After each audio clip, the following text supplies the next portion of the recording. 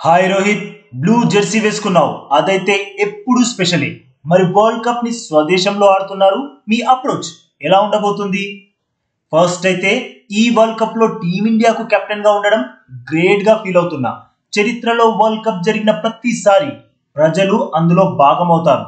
నన్ను నేను చాలా లక్కీగా ఫీల్ అవుతున్నా ఈ వరల్డ్ కప్లో టీంను లీడ్ చేస్తున్నందుకు. చాలా ఎగ్జైటింగ్గా కూడా ఉంది. ఎట్ ద సేమ్ టైం కొంచెం ప్రెషర్ కూడా ఉంది. కానీ నాతో పాటు టీంలోని వారందరూ ఇలాంటి ప్రెషర్ని ఎదుర్కొన్నారు. అది ఇండియాలోనే ఆడినా లేదంటే అదర్ కంట్రీస్లో ఆడినా. ప్రెషర్ అనేది మనల్ని ఎప్పుడు వెంటాడుతూనే ఉంటుంది. మనల్ని ఏం వదిలిపోదు. ఒక స్పోర్ట్స్ మ్యాన్ ఎప్పటి వరకు స్పోర్ట్స్ ఆడతాడో అప్పటి వరకు ప్రెషర్ అనేది ఉంటూనే ఉంటుంది. అందుకే ప్రెషర్ అనే మాటను పక్కన పెట్టి మనం చేయవలసిన పనిని చేసుకుంటూ వెళ్ళడమే. అంటే ఇది చెప్పడం చాలా ఈజీనే చెయ్యడమే చాలా చాలా కష్టం. అయినా వరల్డ్ కప్ కోసం బాగానే ప్రిపేర్ అయ్యాం. మన ప్రిపరేషన్ బాగుంటే అది మనకు చాలా కాన్ఫిడెన్స్ ఇస్తుంది. అది ఏ గేమ్ అయినా కానివ్వండి. మరి లాస్ట్ త్రీ వరల్డ్ కప్స్ని హోస్ట్ చేసిన టీమ్సే గెలిచాయి? అది ట్రెండ్గా మారిపోయింది. మరి ఈ విషయం మీ బ్యాక్ ఆఫ్ మైండ్లో కూడా ఉందా?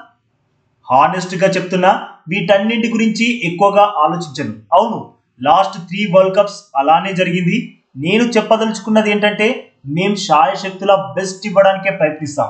టోర్నమెంట్ని ఎంజాయ్ చేయాలని ఈ పాయింట్ ఆఫ్ టైంలో చెప్పాలనుకుంటున్నా. ఎందుకంటే ఇది చాలా రోజులు జరిగే టోర్నమెంట్. కాబట్టి ఫోకస్ అనేది సడలకుండా మనం కంప్లీట్ చేయవలసిన జాబ్ని కంప్లీట్ చేయడానికి ముందుకు వెళ్ళడం చాలా important. Rohit India versus Pak అనేది బిగ్ బిగ్ క్లాష్ అయితే అంతకుముందు రెండు ఇంపార్టెంట్ మ్యాచ్లు కూడా ఉన్నట్టున్నాయి. అవును ఆస్ట్రేలియా ఆ తర్వాత ఆఫ్ఘనిస్తాన్ టీంతో మేము ఎయిత్ రోజు చెన్నైలో మొదటి మ్యాచ్ ఆడబోతున్నాం. మాకు బాగా తెలుసు ఈ టోర్నమెంట్లో ఆడే ప్రతి మ్యాచ్ ఎంత ఇంపార్టెంట్.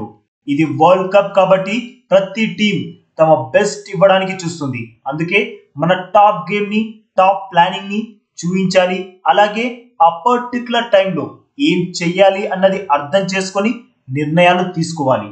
ఒక టీంగా ఏం చేయాలి ఎలా చేయాలి పరిస్థితులను సరిగా అండర్స్టాండ్ చేసుకొని బెస్ట్ కాంబినేషన్స్తో వెళ్ళి గేమ్ టైంలో మన స్కిల్స్ని మనం ఇందుకోసం ఏదైతే ప్రిపేర్ అయ్యామో దాన్ని ఎగ్జిక్యూట్ చేయడమే.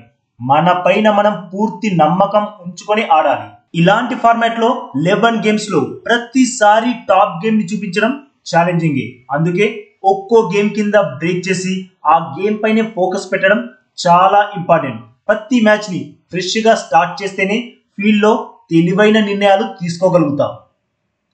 రోహిత్ మీరు ఈ వరల్డ్ కప్ కోసం ఎక్సలెంట్గా ప్రిపేర్ అయ్యారు. అయితే వార్మప్ మ్యాచ్లు వర్షం వల్ల వాష్ అవుట్ అవడం మీ ప్రిపరేషన్కి ఏమైనా ఇబ్బంది కలిగించిందా?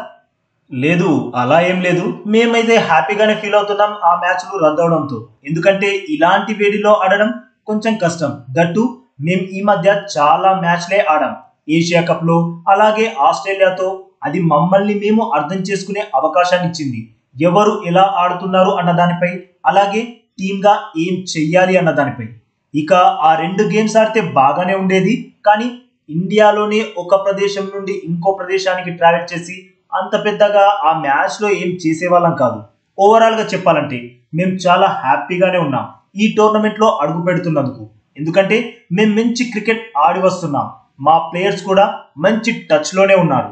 వరల్డ్ కప్ని హోస్ట్ చేస్తున్న టీంగా మీరు మిగతా టీం క్యాప్టెన్స్కి ఏం మెసేజ్ ఇస్తారు? ఇక్కడ కూర్చున్న ప్రతి కెప్టెన్ వాళ్ళ దేశం కోసం వరల్డ్ కప్ని అచీవ్ చేయడానికే వచ్చారు. ఇక్కడ ఉన్న ప్రతి కెప్టెన్కి తెలుసు అది సాధించడం ఎంత కష్టమైన పను. అలాగే ఇక్కడున్న ప్రజలకి ఈ టోర్నమెంట్ ఇక్కడ జరగడం చాలా సంతోషాన్ని ఇస్తుంది. ఇక్కడ ఉన్న వాళ్ళకి క్రికెట్ అంటే పిచ్చి. టీంని ఎంతగా ప్రేమిస్తారో క్రికెట్ కూడా అంతే ప్రేమిస్తారు. ఈ టోర్నమెంట్ అయితే చాలా అద్భుతంగా జరగబోతుంది. రోహిత్ ఈ వరల్డ్ కప్లో మీ బిగ్గెస్ట్ ఛాలెంజ్ ఏంటి? స్వదేశంలో ఆడడం పాకిస్తాన్తో ఆడడం వరల్డ్ కప్ గెలవడం ఏది బిగ్గెస్ట్ ఛాలెంజ్ నాకు తెలుసు ఏది ఇంపార్టెంటో అలాగే టీంలోని ప్లేయర్స్కి కూడా. ఇప్పుడు వీటన్నింటి నుంచి బయటకు వచ్చి ఒక టీంగా మేము ఏం చేయాలో దాని మీదే ఫోకస్ పెడతాం. ఈ ఎక్స్పెక్టేషన్స్ పై మేమేం వర్రీ అవ్వట్లేదు. ఎందుకంటే అది ఎప్పుడు ఉంటుంది? ఎవరితో ఆడుతున్నాము అన్న విషయంపై కూడా ఎలాంటి వరీస్ లేవు. అలాగే బయట జరిగే ఏ విషయాల గురించి కూడా మేము జస్ట్ ఒక టీమ్గా ఏం చేయాలో దానిపైనే ఫోకస్ పెడతాం.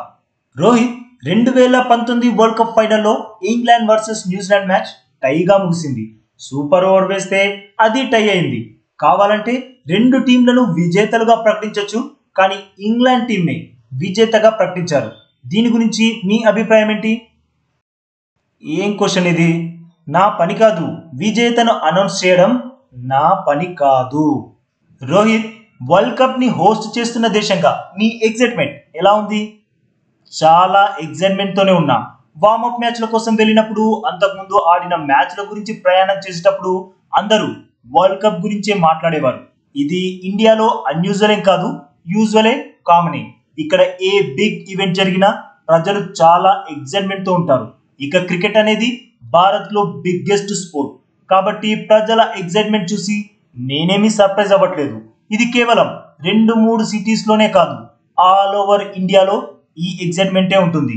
మీరు ఎక్కడికి వెళ్ళినా వరల్డ్ కప్ గురించే చర్చ జరుగుతుంది. దట్టు పన్నెండు సంవత్సరాల తర్వాత ఈ మెగా ఈవెంట్ ఇండియాలో జరుగుతుంది కాబట్టి ఇక్కడున్న వారందరూ చాలా చాలా ఎగ్జైట్మెంట్తో ఉంటారు. ఇలా జరిగింది ఫ్రెండ్స్ వరల్డ్ కప్కి ముందు అన్ని టీంల క్యాప్టెన్స్తో జరిగిన క్యాప్టెన్స్ డే ఈవెంట్ మీకోసం తెలుగులో ట్రాన్స్లేట్ చేసి చెప్పా. నచ్చితే మాత్రం ఫ్రెండ్స్ తప్పకుండా లైక్ కొట్టండి.